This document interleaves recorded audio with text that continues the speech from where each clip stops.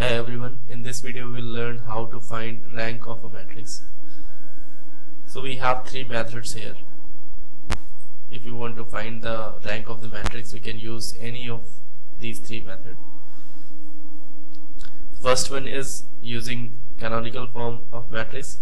This canonical form of matrix is also known as normal form of matrix. The second one is by using the minors minor of the matrix and the third one is by using our usual echelon form of the matrix. Okay so we'll uh, we'll try to understand the definitions of these these terms here. And we'll try to understand the whole working uh, by using a simple example. Okay so let's get start with the first method that we have here.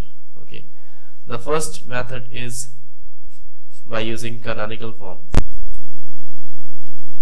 Any matrix A can be converted into its canonical form.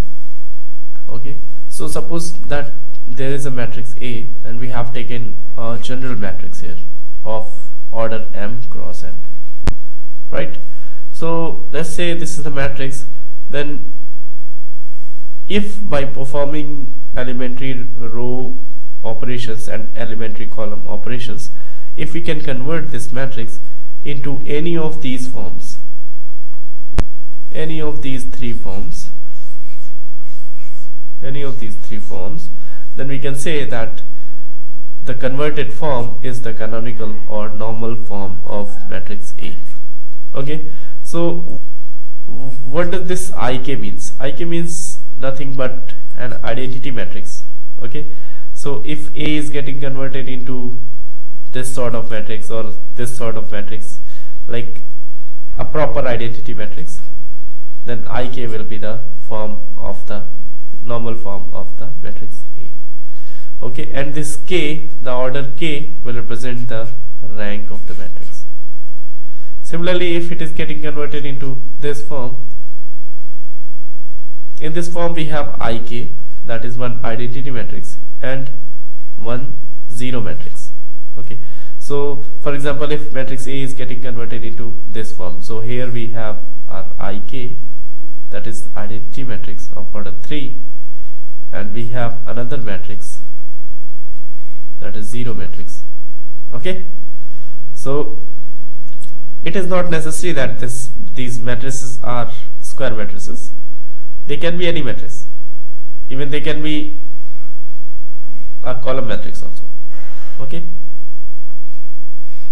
so here we have ik and here we have our zero matrix. Okay. So converted form can be any anything but it should be having one identity matrix and one zero matrix only. Okay?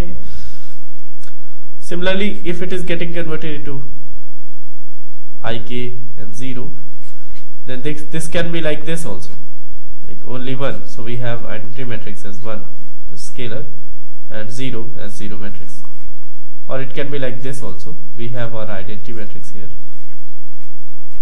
Ik and we have a row vector 0 this can be of this representation also. So here we have our ik and this is our 0 matrix. Right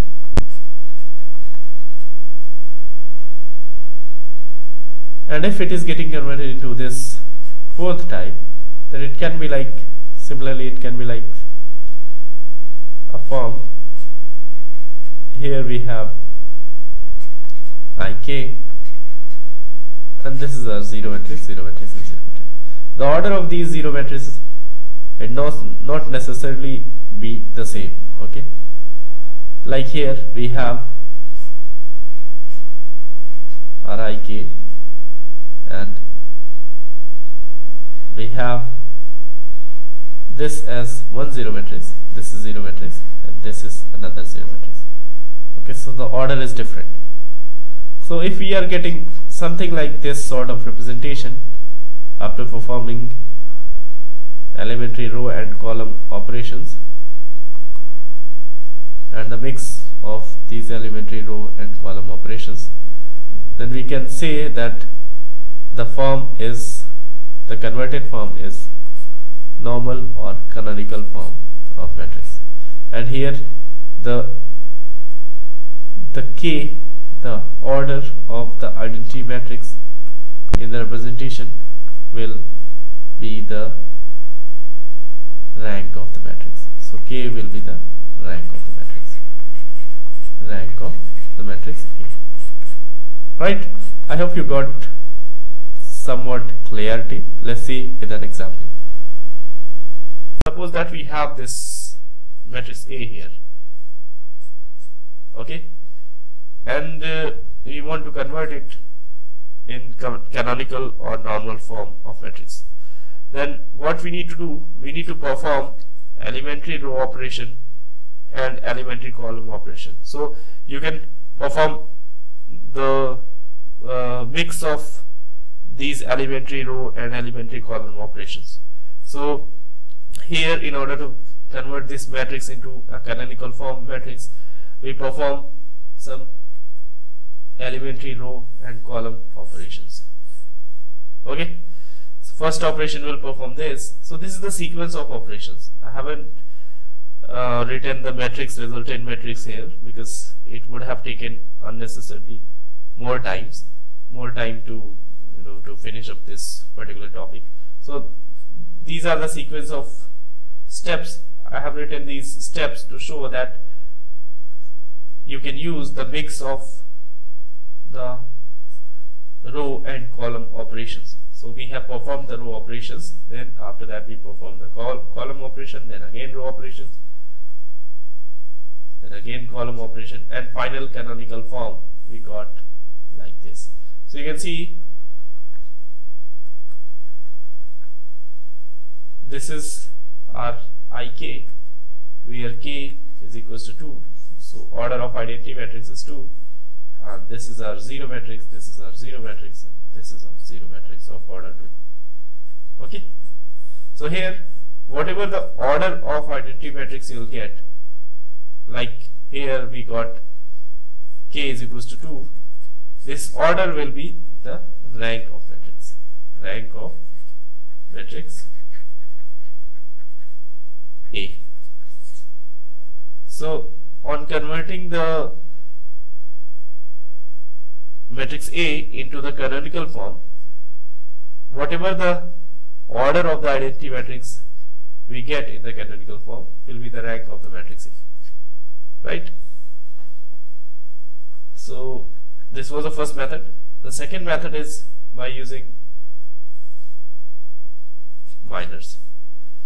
So it says that k is the rank of the matrix A if and only if these two conditions are satisfied. So these two conditions is that if the determinant of at least one minor of order k is non-zero okay and all the other all and the determinant of all the other minors of order x where x is greater than k are 0 it means that in, in a simple, simple language, so if we have the determinant of at least one minor of order k as non-zero and the determinant of all the other minors of order that is greater than k are 0 then we can say that k is the rank of the matrix. Okay? So let's see one example here so we have taken an example let's say a is the matrix here so it is a 3 by 3 matrix. Okay. So what, what will be the high, highest order of the minor? Obviously it will be 3. And the minor with order 3 will be only 1. That is this matrix itself. So on finding the determinant of the minor, you get it as 0 okay? So since we have only one minor of order 3 and uh, the the the determinant of that minor is 0 so we cannot say that this is the rank of our matrix. So 3 cannot be the rank of the matrix A. So the next highest order minor is 2 and we have 9 such minors so we can take any of these 9 minors and we can check whether selected minor is giving us the determinant as non-zero or not. If any one of these minors is is giving us a non-zero determinant then we can say that 2 is the rank of our matrix. Because we have already tested the conditions for order 3 and we got only one such minor and the determinant of that minor was equals to 0 so as per definition if 2 is the rank of the matrix then the determinant of the minor of order 3 should be equals to 0 okay? Here we can see we have taken a minor this 1 2 and 2 3 with respect to the element respect to the element here 7 so we have taken this as our minor. And we can see that the determinant is minus 1 that is non-zero. So the rank of the matrix will be 2 right? If you have any confusion you can just comment and uh, I'll try to explain it in a better way our third method was by using our echelon form of the matrix so it is nothing it is actually the simpler one and uh, most of the mathematicians use this method because it is a little bit simpler. So first thing is that you will have to convert your matrix into row echelon form and after that whatever the number of non-zero rows you'll get.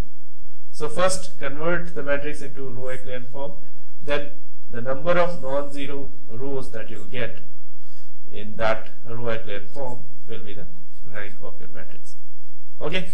So i hope things are clear here and you can easily find the rank of the matrix by using any of these three methods. So hope you got something valuable from this video like it and subscribe to this channel so that you can know more about the mathematics. Okay? Thank you for watching. Bye